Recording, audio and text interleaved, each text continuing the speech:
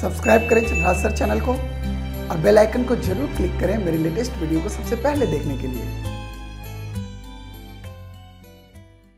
Hello my dear online students, आज के अंदर एक इंपॉर्टेंट रिलेशन हम लोग डिस्कस करने जा रहे हैं x by m directly to P का पार वन बाई एन शायद दिमाग में थोड़ा क्लिक करने वाला होगा कि मैं क्या बोलने जा रहा हूँ। आप कंफ्यूज कर रहे होंगे।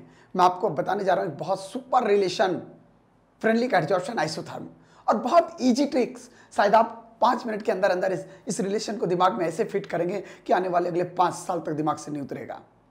डियर स्टूडेंट्स स्वागत है आप सभी का आपका अपने चैनल चंद्रहास सर में।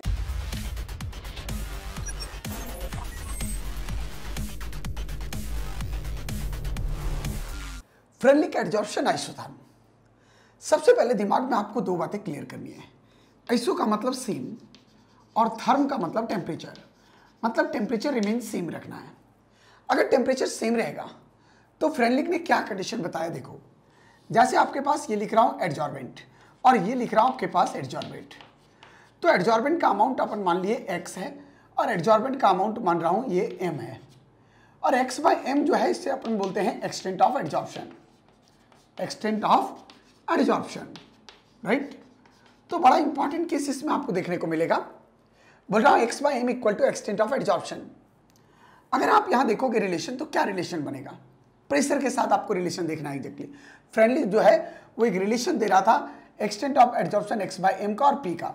बोल रहा हूँ कंडीशन गिव्स रिलेशन गिव्स क्या लिख रहा हूँ? Relation between x by m and pressure x by m और प्रेशर के बीच का रिलेशन एक्सप्लेन कर रहा था फ्रेंडली जब टेम्परेचर को रखा गया था कॉन्स्टेंट क्या कंडीशन था देखो आप। थोड़ा सा आप ग्राफिकली इसको सोचने की कोशिश करो।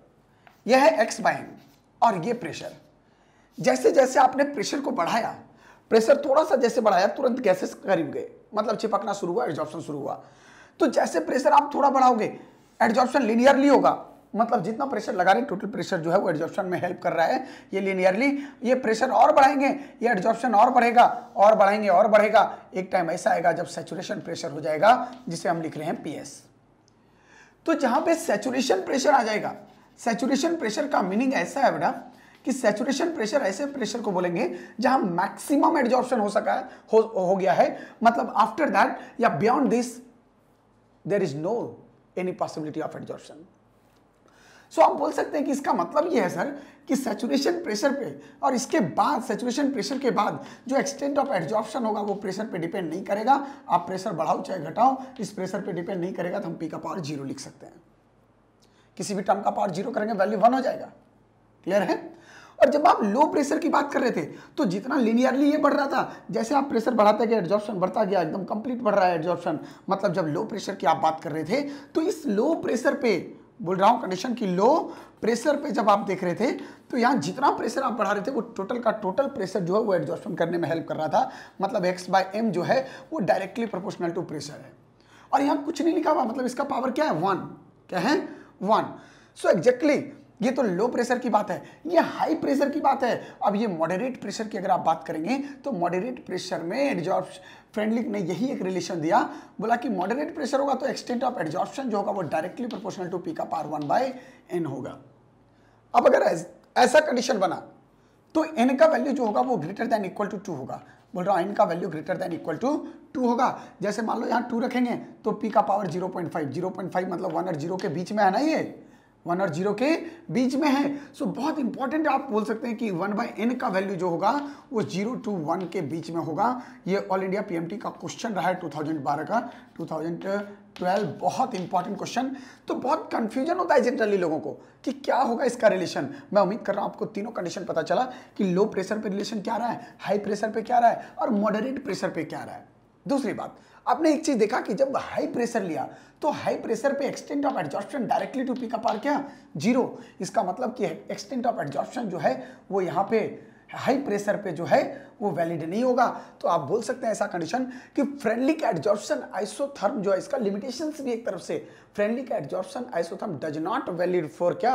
हाई प्रेशर सो लिख रहा हूँ कि ये जो फ्रेंडली का एडजॉर्प्शन आइसोथर्म आप देख रहे हैं, ये does not valid for high pressure बोलो क्लियर है? Valid for high pressure high pressure पे ये वैलिड नहीं होगा ओनली लोअर मॉडरेट प्रेशर पे वैलिड होगा। बड़ा इंपॉर्टेंट कंडीशन यहाँ पे आपको दिखाई दिया। थोड़ा सा इसको और मॉडिफाइड करते हैं, एक और ग्राफ लेके आते हैं। या अभी आप देख रहे थे एक्स बाय एम और पी का ग्राफ मैं इसी ग्राफ को थोड़ा सा लॉगरिथम के टर्म में लाना चाहूँगा।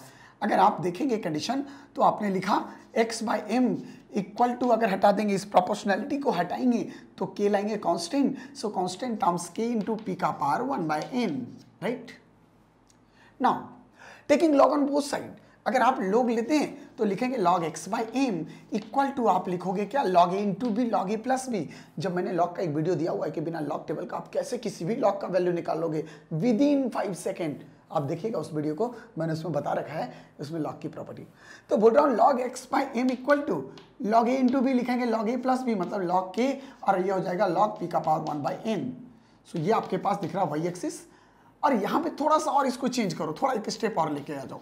Log x by m equal to आप लिखोगे क्या? लॉग के और log x to the power y by log x मतलब वन बाई एन और ये हो जाएगा log p राइट क्लियर है कंडीशन अब ये लॉग एक्स बाई एम क्या है? वाई एक्सिस है।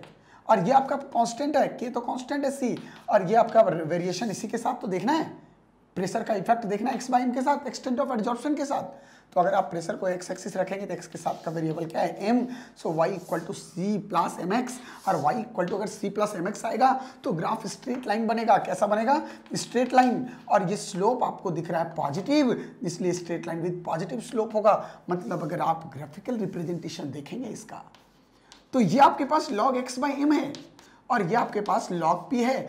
ग्राफ बनेगा straight line with positive slope लेकिन माय डियर स्टूडेंट्स आपको ध्यान रहे कि के जो दिख रहा है इंटरसेप्ट इंटरसेप्ट का वैल्यू ज़ीरो नहीं है। अगर ज़ीरो नहीं है तो ओरिजिन से पास भी नहीं होगा। So straight line with positive slope graph तो बनेगा but does not passing through the origin ये जो इंटरसेप्ट दिख रहा है, इसी का वैल्यू आपका लॉग क्या है? कि बड़ा आसान तरीका है। और ये एम क्या डिनोट करता है? एम डिनोट करता है आपके पास स्लोप जिसको आप लिखते हैं टेन थीटा और स्लोप जो दिख रहा है आपको वन बाई कितना? एन क्योंकि ये भी क्वेश्चन रहा है कॉम्पिटिशन का, कि स्लोप जो होगा, अगर हम ग्राफ प्लॉटेड करेंगे लॉग एक्स बाई एम और लॉग पी का तो what is the value of slope so slope का वैल्यू होगा वन बाई एन तो माय डियर स्टूडेंट्स मैं उम्मीद कर रहा हूँ कि ये ट्रिक आपको बहुत अच्छा लगा होगा और बहुत बढ़िया तरीके से आप फ्रेंडली का एडजॉर्सन आइसोथर्म को समझ गए होंगे। अगर मेरा वीडियो आपको अच्छा लगे तो आप लाइक ज़रूर कर दीजिएगा शेयर ज़रूर कर दीजिएगा और सब्सक्राइब भी कीजिएगा। रिक्वेस्ट है आपसे इस बार।